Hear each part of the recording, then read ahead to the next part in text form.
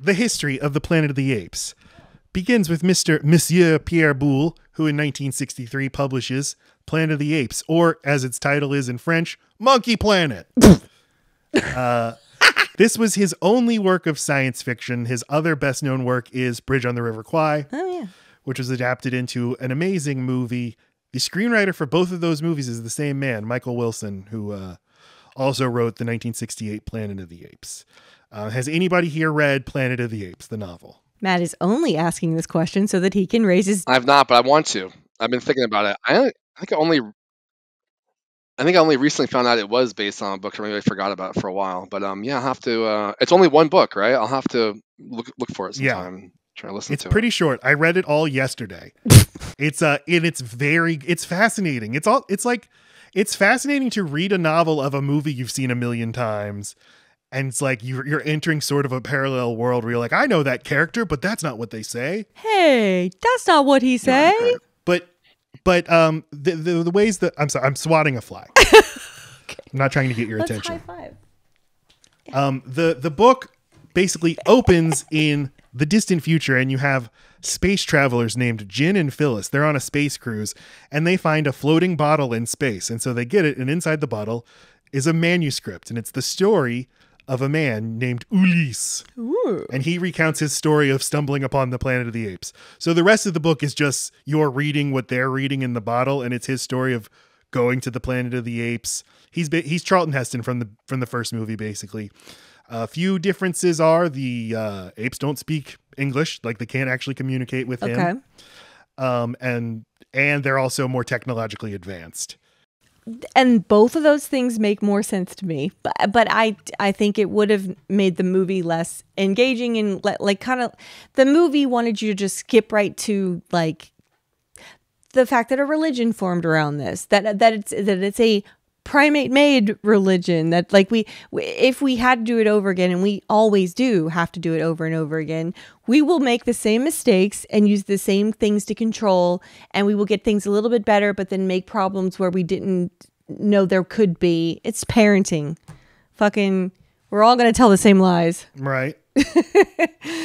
um The, um yeah but the english part was uh, as soon as we started watching the 1968 version i'm like oh come on they speak english? This And- is stupid and but it's like he does eventually learn to communicate like they learn each other's languages. It's like the movie arrival. But i get that when you're making a movie you're like we need to just skip to the part where they can understand each other. Right. Well, and um, I will say about the first one as well. The the humans not being able to speak that are already on that planet makes way more sense than and that's that's also the case in the book okay. That just makes way. I mean, it, it is a we- uh, that's a, a thing a mistake i think the remake does I think so too. but okay so the other I mean, it makes sense, like, like, like uh, story wise. But why would it make sense logically? Why would they lose their knowledge of speech just by being subjugated? Like they can talk to, together if they're in prison or Exactly. in camps or whatever, or living in huts. So why no? Why wouldn't they lose their speech though? It doesn't make sense that way. True. yeah but like in the remake they're they're not like the apes have no reason to consider them lesser Exactly. beings other than prejudice and i think that the then it makes the the sort of metaphor it's like literally just Racism. an apartheid state that they're building and i think that's i think it's more interesting to think um about how like we treat animals I and mean, that's okay. I things think that that's okay. can't They're racist. yeah, but like It's a different thing.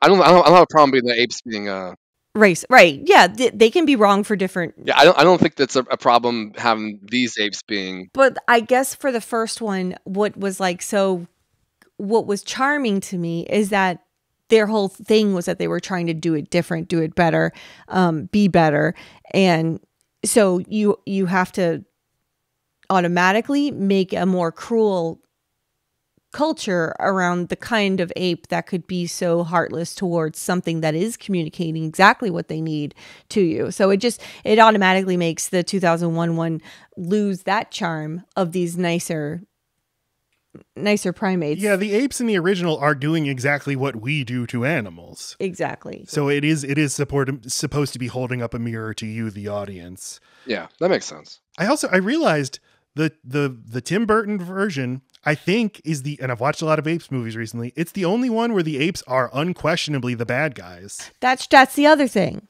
That was a lot. Like I liked that the apes. I I was on their side in the first one. And in in the Matt Reeves one, like you are 100% on the ape side. They're the sympathetic side.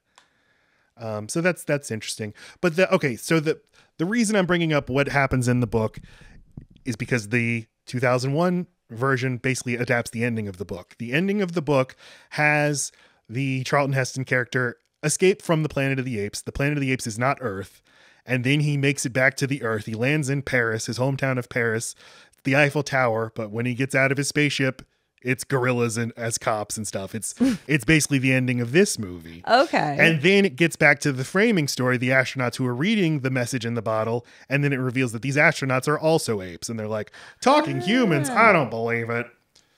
That's interesting. So Oh, I that's do think it was it's kind of a cool nod to the book for this movie to be more faithful to that uh to that twist ending. hmm And also like how do you recreate the most famous twist ending in movie history? Right. You just have to go somewhere completely different.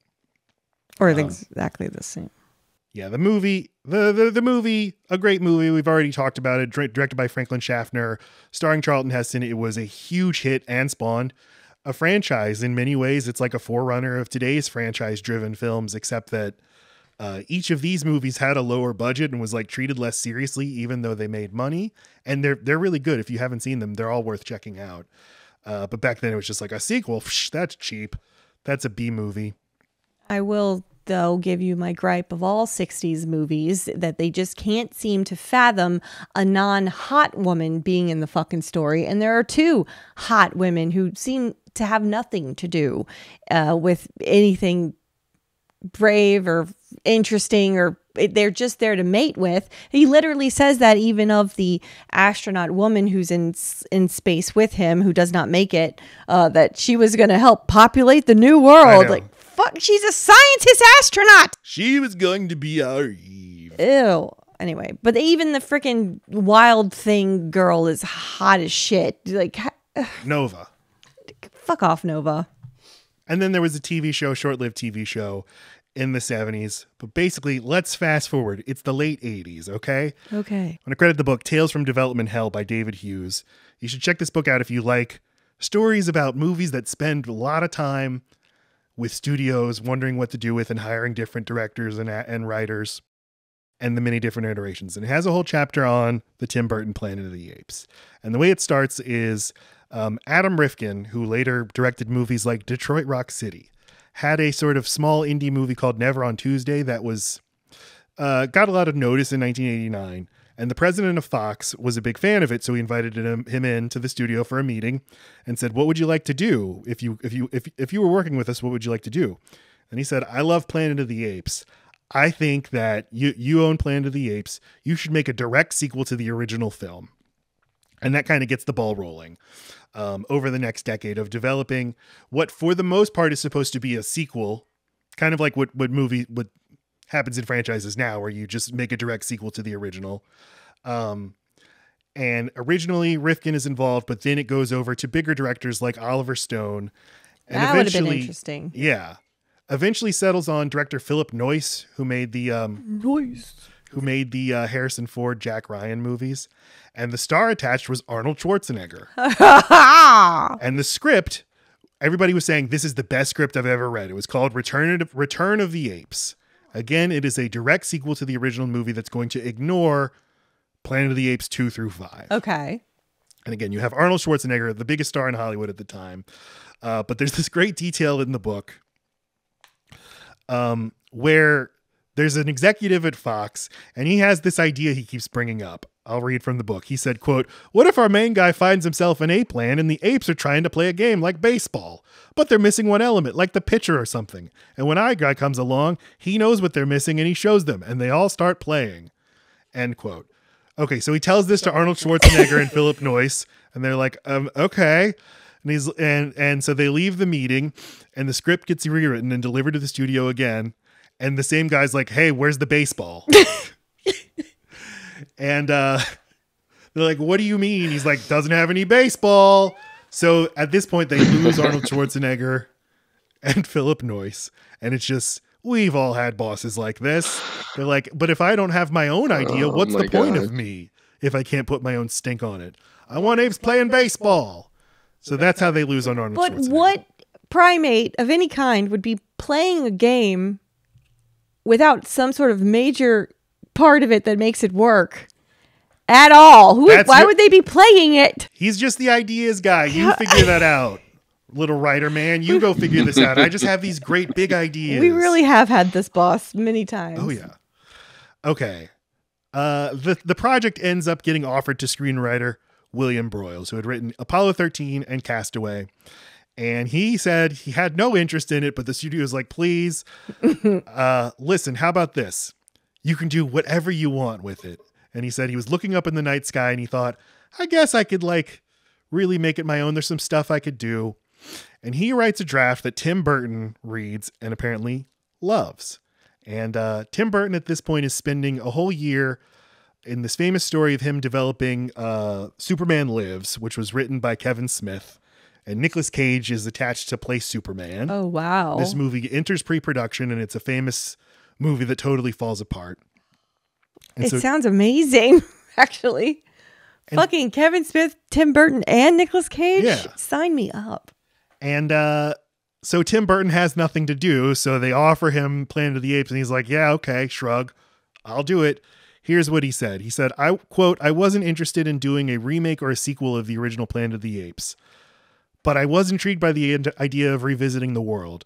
Like a lot of people, I was affected by the original. It's like a myth or a fairy tale that stays with you. The idea of reimagining that mythology was very exciting to me. End quote. And the, the thing they kept saying is, this isn't a remake, it's a reimagining. Is it? Mm-hmm. No, it's not, my man. It is. No. Oh, bar- we- barely. It is. A lot- Fucking barely. All those differences you you're talking about, convince that's the reimagining part of it. Well, Joshua, Fine. like Tim Burton is very distinctive uh, style and vision, and he has his things that recur throughout his movie, like, Like Melissa Glassbottom. Like striped. Uh, What's her name? what like Helena Bonham Carter? That's what I said. Okay, but like this feels like the least personal of all of his movies. like- I knew Josh would get Yeah. kicked out. um, do you do you see much Tim Burton in this movie? More the designs of, of the of the you know the the technical aspects of it, like the costumes, the hats, the swirls, there's shapes, there's things like that. Um, he's got some of his actors in there also. Mhm. Um, you know, I I would I would I would say it's a Tim Burton movie. I don't think it's devoid of his touch. You know what? I didn't even think about that, Joshua. But you're right. The those hats are so extra. Um, the they're they, they very much Wizard of Oz vibes. Um, Right. it maybe also it's like whimsy and the way that he decided to let them move just like apes. Like the way that the huge jumps and the climbing the randomly climbing up shit and just swinging from something for no reason. It just it is kind of his playful kid like mm-hmm. framing of stuff. It's it's it's what a kid would do if they were a monkey adult. And I think that I think that all the like ape society stuff, like the dinner party, and just like looks at like there's you see have like the have the heavy metal apes, and you have the ape and his wife who are like going to get down to some ape s and some s, S and ape. Uh, I think I think that that's the stuff that probably attracted him to it. But then you kind of get away from all that and it just becomes an action movie for the That's the worst hour. part of it, though. yep oh wait what part what part's the worst part I think all those stupid little um the way that they're like humans. I think it's it's so cheesy. I think that's the part that doesn't work at all for me. Oh, I like that stuff. The, I- the it's foreplay, it's the not ape good, but I foreplay. like you think I think it's I think it makes it too silly. It, it makes it more Yeah. fun, I guess, but I think it's too silly. No, and I have that same note. I've like I don't need an exact replica of human street punk kids wearing leather jackets and smoking from a bong. That is so stupid. So that's what I mean by like I guess you're reimagining it, but you're just putting way too many human qualities into this world and leaving out a whole bunch of other random ones. And the maybe we're not here yet for this complaint No, go ahead. but the variety of of ape I, I understand humans have variety but we don't have a variety in the people we choose to serve at the very top of our military those are some of the most buttoned up prestigious straightforward white men you're ever going to see they're not like the most extra fucking evil ape I've ever seen in my life. How the hell would he be the head of the military? You're talking about General Thade. He's out of his fucking mind. He Thade, doesn't make yeah. sense. Thade. Laci, I think that Yeah. you you do, you are not giving credit to all the great military weirdos of human history. I mean, come on, Tim Roth is General just MacArthur. I mean, shut up. we'll up. talk more about we'll talk more about General Thade. Okay, let's Um, get there. Just a little, just a little bit more. Uh, th- this movie, uh, as we said, had an extremely rushed out. production schedule, and um, they made it work. And this movie actually was a big hit. Okay. But it is the rare movie that was a big hit that they never considered making a sequel to. Burton is quoted as saying they they asked Tim Burton if he would like to direct a sequel. He said, "I'd rather jump out of a window." um, and then the movie was called Rise of the Apes until shortly before it was going to be released, when they just renamed it to Planet of the Apes. right. Oh, Uh, we'll briefly I didn't know talk about Mark Wahlberg. He had Boogie Nights come out in 97. That made people start taking him seriously as an actor. He's coming off of Three Kings and The Perfect Storm. Basically, Perfect movies for him. the project of making him a major movie star is well underway. But this movie's kind of a blip because I don't think most people liked him in it. And uh, 2011, when Rise of the Planet of the Apes was coming out, um, Wahlberg was asked about it, and he said, "quote I haven't seen it yet, but I heard it was pretty damn good. Well, ours wasn't. it is what it is. Ours wasn't. They didn't have the script right. They had a release date before they had shot a, sh- a foot of film. They were pushing Tim and pushing him in the wrong direction. You have to let Tim do his thing." Right. Uh, he said, I have no better time on any movie than I had working with Tim. I had the most amazing time with Tim. Oh. And then, then the most Mark Wahlberg quote ever. When we were doing reshoots, he came out with me to Paris. We're in the club. I'm sorry, I need to do the Wahlberg voice. you do the voice. We're in the club. Tim was in the club, man. Tim was in the club. Then he'd be drawing people, and all his characters look the same. He'd be drawing people in the club. The Celtics. Um. Okay. And then yeah, got rebooted again, much more serious minded, but he, uh he did that one for like Tim, these- by the this way. current series of movies. He did what? I'm saying like like he actually didn't read the script. He he signed on before there was a script, and he did it for to work with Tim Burton. Oh. Like, he he really wanted to work. Yeah, with I him, saw that so- That's too. cool. He would yeah, do, he said he said Yeah, he did say like uh it was just just wanted to work with you. I don't it doesn't even matter what it is. I just want to work with you. He's, you know, at the top of his Tim Burton in the 90s was like at the top of his power. Um okay. Well, now 1 hour in, we can start talking about the movie. Shit.